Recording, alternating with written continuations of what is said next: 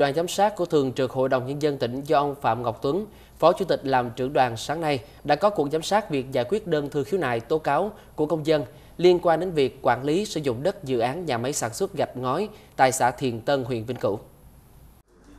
Tại buổi giám sát, Thường trực Hội đồng Nhân dân tỉnh đã nghe đại diện Sở Tài nguyên Môi trường và lãnh đạo Ủy ban Nhân dân huyện Vĩnh Cửu báo cáo những nội dung liên quan đến việc thực hiện thu hồi, bồi thường, giao đất cho thuê trên 32.600 m2 đất đối với công ty trách nhiệm hữu hạn một thành viên Tân Thuyết tại cụm công nghiệp thành phố Thiền Tân, ấp Ông Hường, xã Thiền Tân, huyện Vĩnh Cửu, theo quyết định 2663 ngày 29 tháng 6 năm 2004 của Ủy ban nhân dân tỉnh Đồng Nai.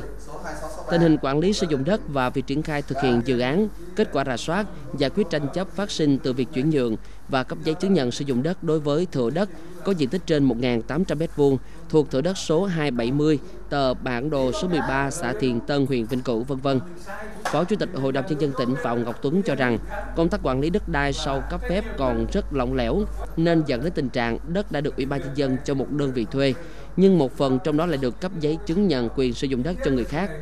Phó Chủ tịch Hội đồng Nhân dân tỉnh yêu cầu các cơ quan chuyên môn xác định rõ đâu là nguyên nhân của những sai phạm, trách nhiệm của những tổ chức cá nhân, đơn vị liên quan để có biện pháp xử lý thỏa đáng, đồng thời làm cơ sở để giải quyết đơn thư khiếu nại tố cáo của công dân theo quy định của pháp luật.